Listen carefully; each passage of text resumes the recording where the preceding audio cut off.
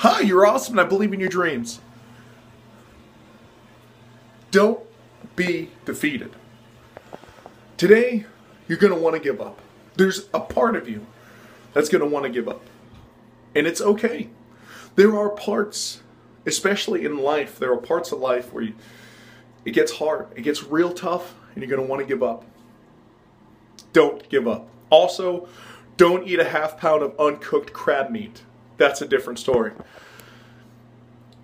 I'm reminded of the story of uh, a farmer, and I, I, I, did do this on a live uh, a live cast from yesterday, but I'm reminded of a story of a farmer who found an old eagle's nest. It was abandoned, and in it was an eagle's egg, and he wanted to see if he could if he could hatch one. So he put it in with his chickens in his chicken coop, and uh, shortly thereafter, he had an eagle he didn't want this eagle to fly away, so he clipped its wings and he put it with his chickens. But there's a couple differences for this eagle. And I really want you to relate this story to your life.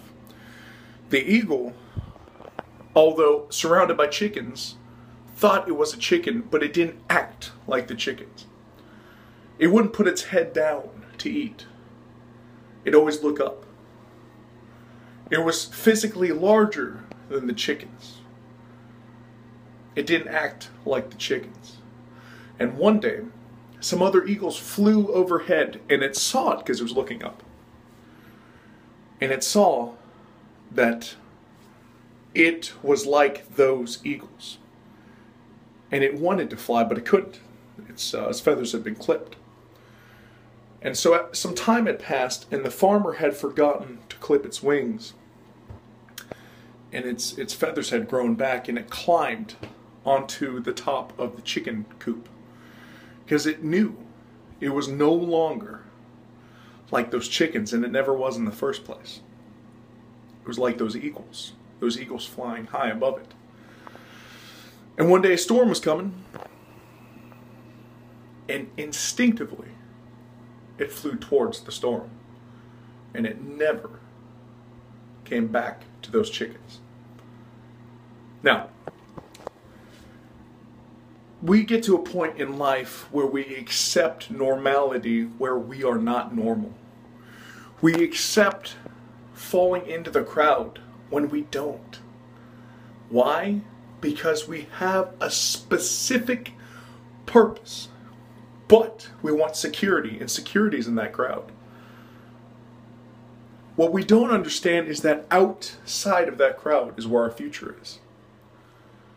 Outside of the normal is where we're normal. And that's where we need to be.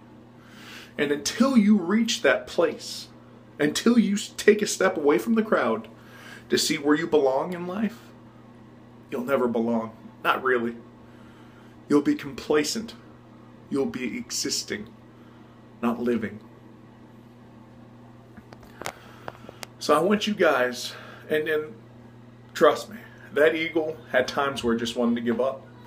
When it couldn't fly, when he was missing those feathers, it was like, well, maybe I'm just going to stay here with those chickens but then instinct took over. And you're going to feel this. You're going to feel this when you're not living up to your full potential. You're going to feel inside of you that there is a voice pushing you to go get your dreams. Listen to that voice. Go get your dreams. You're awesome, and I believe in your dreams. Don't give up. It is okay to have those thoughts. It doesn't mean you're weak. I, I mean, when I have 585 pounds on my back when I'm doing a squat, I think like giving up. I think like I want to get this weight off of me. But I also think my muscles are going to grow if I just stand up with it. So I struggle through and I stand up. If you guys want to lift 585 pounds squat, come on out to Ragnarok. Oh, we're also selling these shirts, by the way go to www.ragnarokstrength.com and you can order these shirts. They're really comfortable and they fit everybody. Get your dreams. It's okay to doubt. Don't live in the doubt. You guys are awesome.